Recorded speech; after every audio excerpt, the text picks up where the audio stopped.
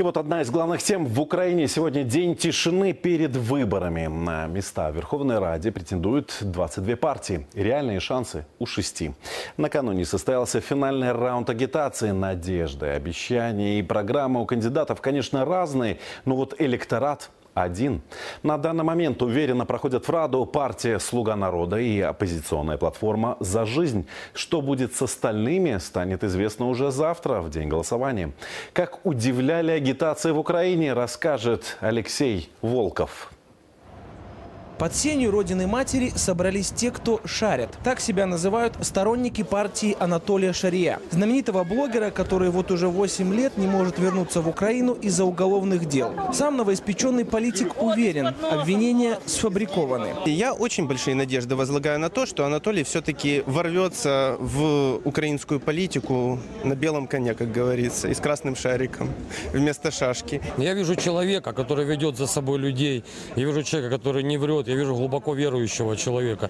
Ну, Лидер настоящий. Впрочем, отсутствие номинального лидера, а ЦИК Украины так и не зарегистрировал самого Шария, и первый номер достался супруге. Не спугнула Красную Армаду.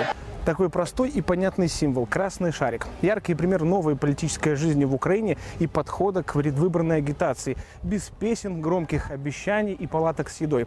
К примеру, лидера европейской солидарности Порошенко, в общем-то, безобидный шарик приводит в бешенство. А собравшиеся у родины матери люди верят. Это символ того, что и в Украине все может быть хорошо.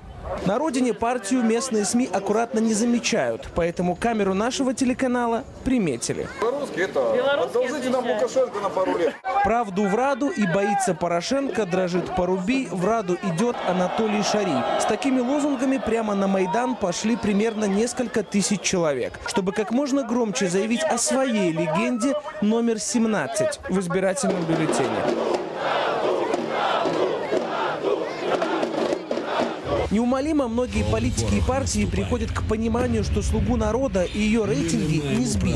Поэтому меняют тактику. Ролик с участием лидера гражданской оппозиции Анатолия Гриценко. Ми повинні згуртуватися. Повинні прийняти правильне рішення. Ми повинні перемогти. Громадянська позиція. Реальные шансы пройти в Раду у шести фракций из 22. Среди проходных и оппозиционная платформа «За жизнь». Они за диалог с Москвой. И партия Тимошенко «Батькивщина».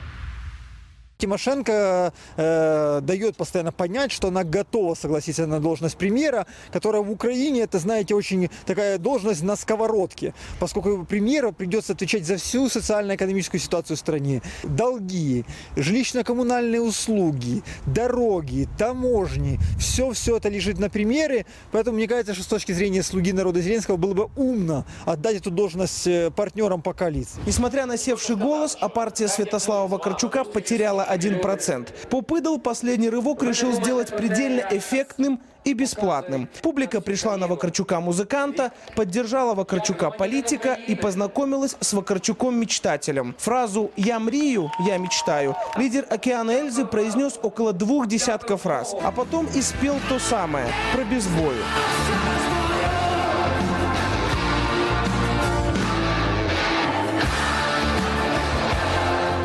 Это именно то, что э, я хотел бы видеть в будущем в этом по- помещении под названием Верховная Рада. То есть команду молодых профессионалов, Та велика українська мрія кожного про справді сильну, заможну, успішну європейську державу може здійснитися. Пока все говорили, что делать с Радой, сторонники «Голоса» взяли и сделали световое представление.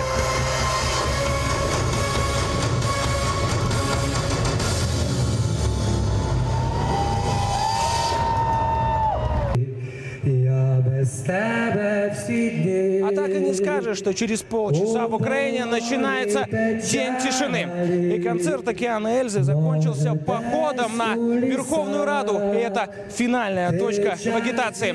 Если натиск толпы не стесет стены парламента, то уже в понедельник у страны будет новый девятый созыв депутатов. Алексей Волков и Алексей Юнош. Агентство теленовостей «Киев, Украина».